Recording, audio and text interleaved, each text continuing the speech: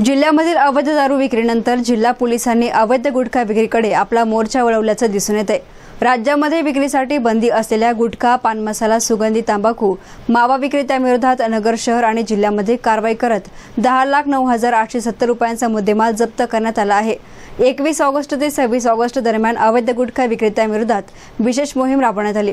स्थानिक गुन्हे शाखेच्या पथकांना आठ ठिकाणी छापे टाकत ही कारवाई केली. यामध्ये अकरा आरोपींविरोधात कोतवाली तोपखाना एमआयडीसी शेवगाव पोलीस ठाण्यामध्ये गुन्हे दाखल करण्यात आले आहेत. महाराष्ट्र राज्यात विक्रीस प्रतिबंध असलेला गुटखा पान मसाला सुगंधी तंबाखू मावा याच्यावर दिनांक एकवीस आठ ते सव्वीस आठ या दरम्यान माननीय पोलीस अधीक्षक श्री मनोज पाटील सर यांच्या आदेशामुळे एक विशेष मोहीम राबवण्यात आली.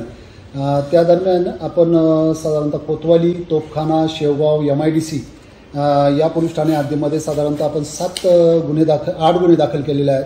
आणि त्यामध्ये एकूण दहा लाख नऊ हजार रुपयाचा मुद्देमाल आपण हस्तगत केलेला आहे आणि त्यात अकरा आरोपी विरुद्ध गुन्हे हे दाखल केलेले आहेत. यात आपण या सुगंधी मावा त्याचबरोबर तंबाखू कच्ची सुपारी तयार मावा चुना तसंच हे तयार करण्याचं इलेक्ट्रिक मशीन अशा प्रकारे हे जप्त करण्यात आलेल्या मालमत्तेचं जे काय आहे ते वर्णन आहे.